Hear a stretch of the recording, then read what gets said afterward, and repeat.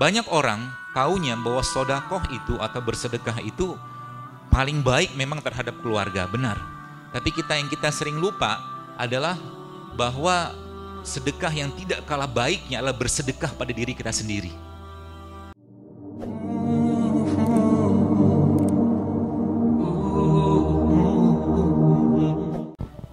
Kemarin saya ada sempat posting Bapak Ibu sekalian, ada dua case yang di uh, di apa?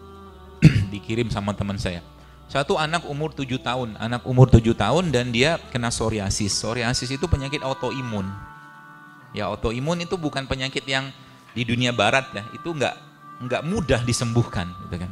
Dia harus minum obat steroid ya, begitu uh, terus menerus ya. Satu lagi kena kanker.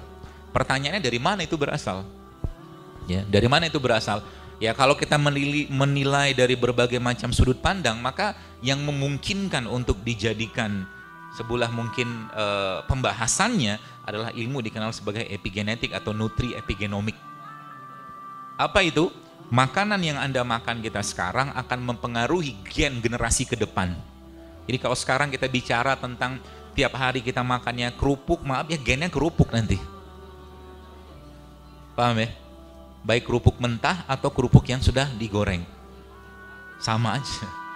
Kerupuk mentah sudah tahu lah kan apa kan. Ya, mudah-mudahan nggak ada penjualnya di luar. Ya. Dan sebenarnya, jadi itu itu jadi ada nutri epigenomik. Jadi apa pun yang kita makan akan mempengaruhi gen. Saya kemarin sempat perjalanan dari Bogor ke Jakarta, mampir ke rest area agak sedikit lapar ya pengen makan gitu kan. Terus akhirnya belilah makan. Waktu beli makan setelah makanan itu kan makannya frozen gitu kan karena sudah pada tutup semua. E, kemudian makanan itu di, di apa namanya di dipanaskan sama yang di tokonya itu. Dipanaskan pakai microwave. Mikir saya makannya. Ya karena ma makannya dipanaskan dengan gelombang elektrod apa elektromagnetik seperti itu tuh nggak udah nggak sehat.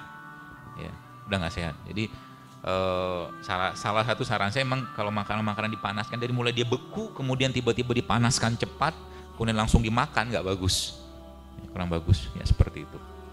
Nah jadi uh, kalau kita bicara badan kita baru sekali seperti saya jelaskan tadi bahwa Allah menciptakan badan kita dengan luar biasa. Allah sampaikan dalam surat uh, dalam Al-Quran ya walaqad khalaqnal insana fi ahsani takwim. Jadi kami ciptakan manusia itu dalam bentuk yang sempurna. Tapi sayangnya manusia sering menzolimi badannya. Ya.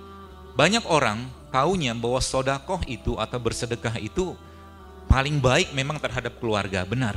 Tapi kita yang kita sering lupa adalah bahwa sedekah yang tidak kalah baiknya adalah bersedekah pada diri kita sendiri ya bersedekah pada diri kita sendiri. Jadi ketika anda uh, sebelah mungkin anda punya dua pilihan. Pilihan pertama anda atau kita minum jus jeruk dalam kemasan gitu kan. Tapi terus anda juga punya pilihan kayak begini gitu kan.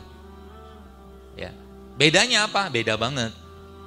Jus-jus jus uh, jus jeruk dalam kemasan seperti itu ya pasti ada pengawetnya, ininya segala macam gitu kan, ada gulanya. Ini ada nggak? Nggak ada maka ketika Anda minum kayak begini sebenarnya Anda sedang bersedekah pada tubuh Anda. Untuk apa? Untuk mempertahankan badan Anda, untuk apa lagi? Untuk bisa beribadah dengan baik kepada Allah Subhanahu wa taala.